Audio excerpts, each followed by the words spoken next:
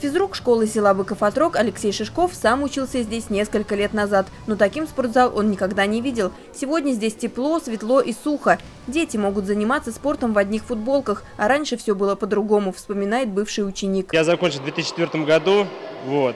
Конечно, зал был, конечно, в плачевном состоянии, но в данный момент, то есть для детей все есть возможности, только нужно заниматься – и показывать результаты. Директор сельской школы Светлана Богомоленко признается, душа болела, здание есть, а дети физкультурой занимаются на улице. Проводили на улице, проводили на втором этаже в рекреации, потому что, да, была такая ситуация, особенно если был дождь на улице, у нас здесь вообще текло все, что можно было э, подставлять, подставляли, потому что был дождь, просто был дождь в спортзале. Непорядок, но как решить этот вопрос? Потепление наметилось после разговора на встрече с депутатами Буково-Отрогского совета.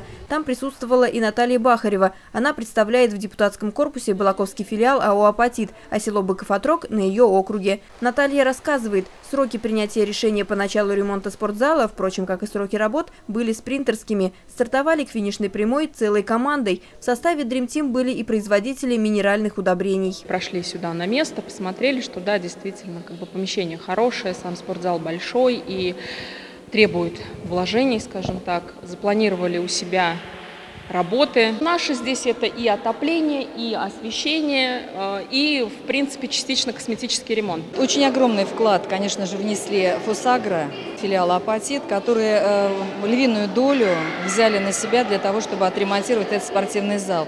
Конечно, очень огромная была поддержка также со стороны депутатов, местного совета Бакватровского муниципального образования, которые э, тоже не остались в стороне и помогли э, сделать такой ремонт. И вот он, первый урок физкультуры, первые веселые старты и первые спортивные планы. В обновленном спортивном зале теперь будут не только проводить уроки физкультуры, но и начнут работать различные секции. Сельская школа под крылом организации «Дрозд-село», а значит намечается возрождение былой спортивной славы Быков-Отрога. Для этого у местных ребятишек и взрослых сельчан теперь есть практически все – помещение и новый спортинвентарь.